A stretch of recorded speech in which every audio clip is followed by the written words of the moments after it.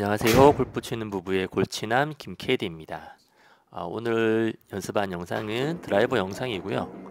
어, 첫 번째 연습은 손목 스냅을 이용해서 가볍게 볼을 타격하는 연습입니다. 뭐 누구나 그렇듯이 손목에 힘을 빼야 되고 근데 몸에도 힘을 빼야 되잖아요. 그래서 저도 뭐 힘 빼는 게 항상 어렵기 때문에 어, 제가 하는 연습의 한 80% 가까운 비중이 에, 손목에 힘을 빼고 몸에 힘을 빼는 이 연습입니다.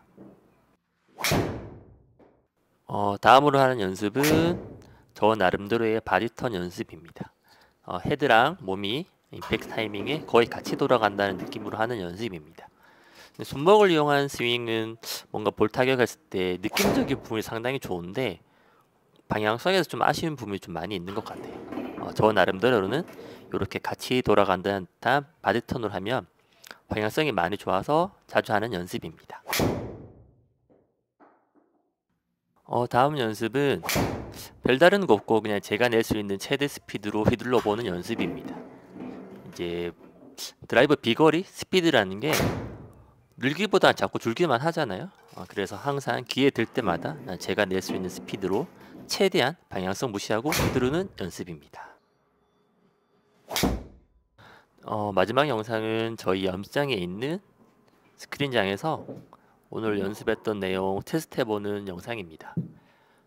목표라는 비거리는 250m고요. 어, 살짝의 draw, baby draw를 걸어서 좀 방향성 위주로 연습을 하고 있습니다. 제가 예전에는 비거리 욕심이 되게 많았어서 한 260?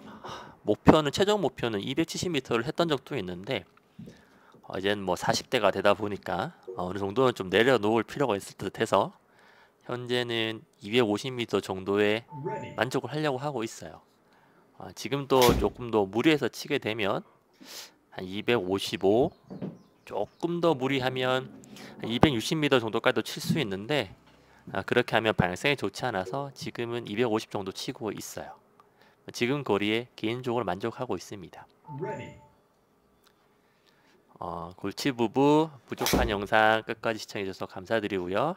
좋아요, 구독, 댓글 마지막으로 부탁드립니다. 좋은 하루 되세요.